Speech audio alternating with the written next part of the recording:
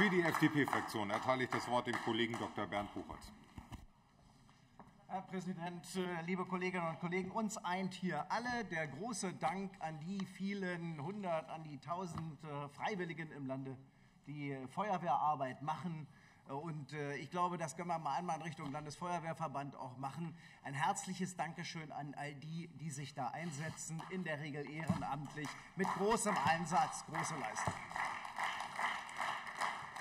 Und in der Tat, die Kollegin äh, Zweig hat ja gerade eben ausgeführt, wie wichtig die Feuerwehrarbeit ist. Ich mache es hier kurz, aber dann hätten Sie in der Tat auch bei den gerade stattgefundenen äh, Planungen zur Kürzung vielleicht an der einen oder anderen Stelle den Rotstift gerade nicht angesetzt. Die 1,5 Millionen, die da für die Feuerwehrgerätehäuser rausgestrichen werden, das ist in der Tat, Kollegin Raudes hat es gesagt, ein doofes Signal an all diejenigen, die da was machen wollen. In diesem Gesetzentwurf, der heute vorliegt, gibt es keinen Streit.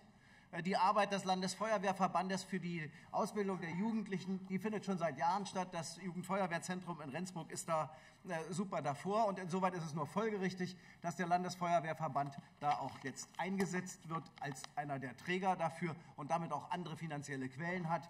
Äh, ich sage mal, auch für die Arbeit in der Vergangenheit, bei der das ja im Wesentlichen mehr oder weniger auf Spendenbasis oder ehrenamtlich stattgefunden hat. Ein riesengroßes Dankeschön. Es ist richtig, dass wir das heute ändern. Vielen Dank.